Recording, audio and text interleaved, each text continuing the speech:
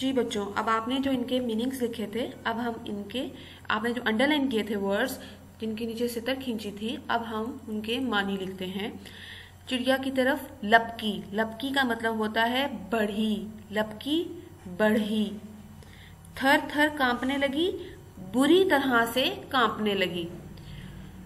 घूरने लगा, गौर से देखने लगा। खौफजदा डर।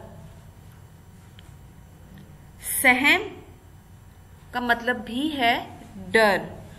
दुबक गई, छुप गई। दुबक गई, छुप गई। जी बच्चों, आप लोगों ने ये लिख ली है इसकी मानी। अब हम अपने नेक्स्ट पेज की तरफ़ आते हैं और उसकी रीडिंग स्टार्ट करते हैं।